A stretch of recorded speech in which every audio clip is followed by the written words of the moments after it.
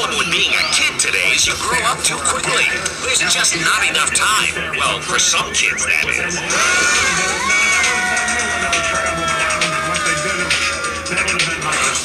Where are we this time? Horrible history. Wow. Horrible history. That's have to pay them. Good idea. Have any of you seen a girl about some tall, big,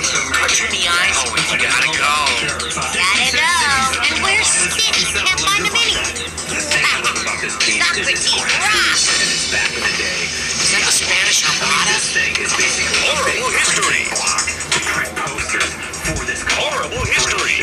It's transportation related and horrible history. Well,